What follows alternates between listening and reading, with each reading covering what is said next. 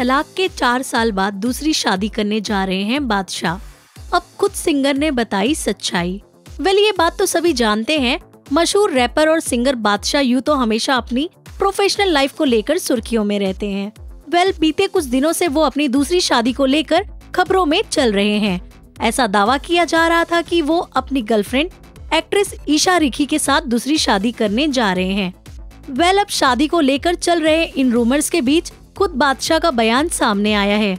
उन्होंने social media पर एक पोस्ट शेयर करते हुए इस पर अपनी बात रखी है। तो चलिए अब हम आपको बताते हैं कि आखिर बादशाह ने क्या कहा है अपने पोस्ट में।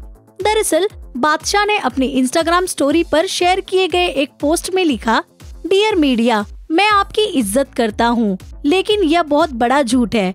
मैं शादी नहीं कर रहा हूँ। जो कोई भी आपको ये बता रहा है, उसे और बेहतर मसाला ढूँढने की ज़रूरत है। बहरहाल बादशाह के इन बातों से साफ़ हो जाता है कि वो दूसरी शादी नहीं कर रहे हैं। और जो ऐसी बातें चल रही थी, वो महज अफवाह है। वेल दोस्तों, मीडिया रिपोर्ट की माने तो ये दोनों लंबे समय से एक दूसरे को डेट कर रहे हैं। हालाँकि दोनों में से किसी ने भी अपने रिश्ते पर कोई रिएक्शन नहीं दिया है। खैर, क्या कहना चाहेंगे आप इन दोनों की जोड़ी के बारे में?